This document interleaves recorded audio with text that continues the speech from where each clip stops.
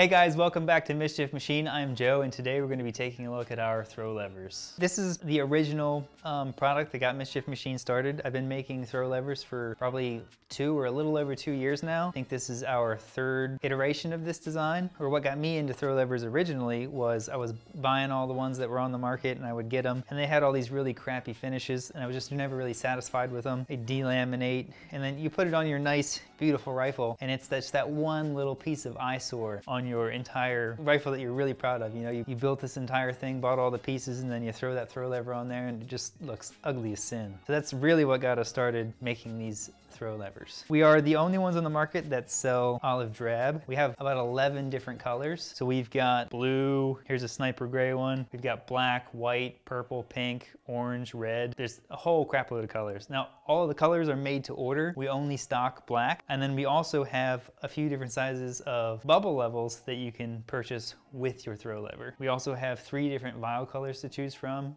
When you place your order, you can customize the color of that vial as well. So our throw levers are not actually engineered to be completely indestructible. I believe that making a completely bulletproof throw lever and then throwing that on a four, five, six, or even say a $3,000 optic is a big mistake, and I'll tell you why. So you invest a lot more of your money into your optic, and in many instances, the optic is actually worth a substantial amount more than the rifle itself. The idea behind our throw levers are they are engineered to be extremely durable. Like you can bang these things around pretty dang hard, but they are not engineered or designed to be completely indestructible. These are designed to be slightly weaker than anything on your optic. So if something were to break, if you're really gonna throw this thing down or drop it really, really hard, the throw lever is, gonna, is designed to break first. But the good thing about that is ours only costs 20 bucks. So if you know you're gonna be three gunning or using your optic or your setup very rigorously, all you need to do is buy two and then just keep one as a backup. So in order to install this throw lever, we are going to just open it up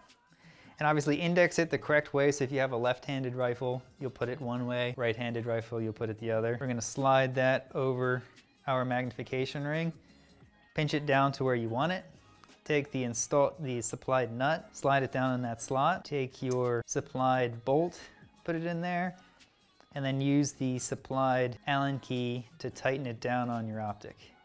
And all you got to do is tighten it down until it doesn't wiggle or move anymore, and then tighten it a few a few more turns until it's nice and snug, and then you're good to go.